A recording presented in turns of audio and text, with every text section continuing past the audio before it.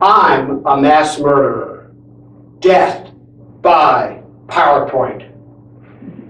Made worse by a dull, monotone voice and staring at my shoes. So much sleeping, snoring, and shock when people would wake up at the end of my talk. Toastmasters has cured that and helped me atone for my sins. My wife used to say, It's not what you say, it's how you say it. I can't be the only husband who's heard that, am I?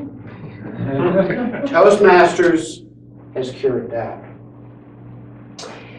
It used to be so obvious that I'm a nerd. It's like I was wearing a hat that blinked, nerd alert, nerd alert, nerd alert.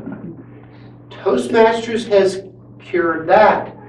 Now, when I wish, I can masquerade as a normal person. I can even get people to laugh with me instead of at me. I used to think that managers were necessarily leaders. Toastmasters has cured me of that notion. We're not all born with leadership skills. Instead, thankfully, they are skills that can be taught and learned. Our tagline at Toastmasters is where leaders are made. I've seen growth myself and in so many people around our district, which is Utah and Idaho. It's been really marvelous to see how people can positively motivate others instead of depending on the threat of a paycheck